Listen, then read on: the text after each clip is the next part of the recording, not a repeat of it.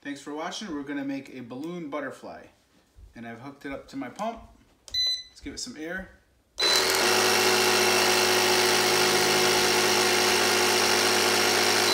Pump it all the way up and release a little bit. Give it a knot.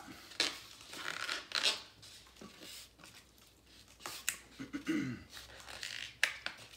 that. Stretch it out a little bit before you get started because this is a stretchy one.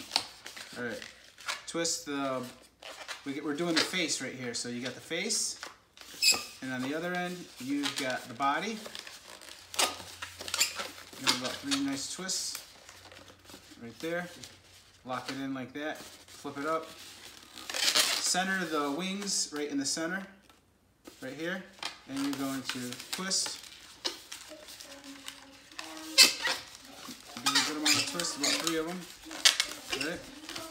Fold this in together. Twist again.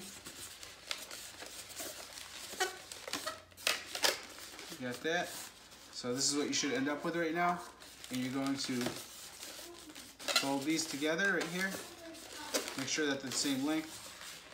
And right here where the wings are, you are going to, this is the face, so on this side right here, you are going to twist the wing like that. Do the same thing here. You're not exactly doing the center, you're pulling it more up here. Alright, give it about three twists right there. They should look equal like that. This is what you should end up with. Then you're going to put them together, and this is the hard part, and the ending. Put them together, and you're going to crimp them like that, and you're going to twist. And this is the tough one, I. Try to center it before you twist it. One, two, all right. Twist this around.